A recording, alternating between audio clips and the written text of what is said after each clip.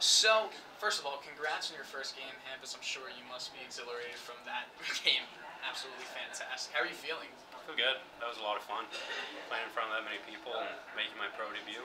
Couldn't be better than that. Nice win. That's awesome.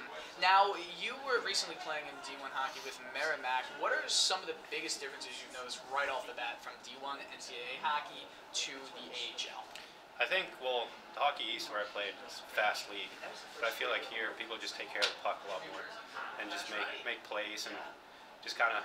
I feel like taking care of the puck and just don't throw it away. That's a big thing.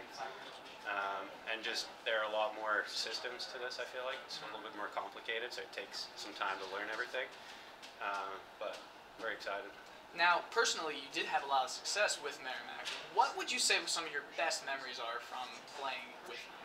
Uh, it's just when you play for a school, you're just taking pride in. Um, I mean, you're so close to your teammates and your classmates, and you want to make them proud. Um, so I feel like that's it's a bit, little bit different because you're all like so tight. Obviously, you're you're tight here too, but there you played for the same team for four years, and you know that going into it.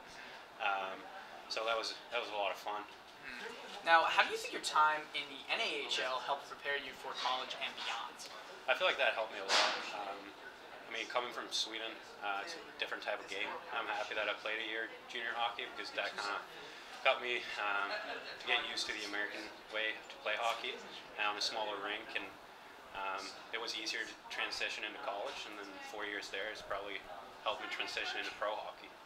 Now, what can Hershey Bears fans expect from you this season? Uh, I'm just gonna, yeah, I'm just gonna try to uh, keep it simple. Um, try to keep winning face-offs and just try to try to take care of the puck and make some plays. Thank you very much, Anthony. Thank you.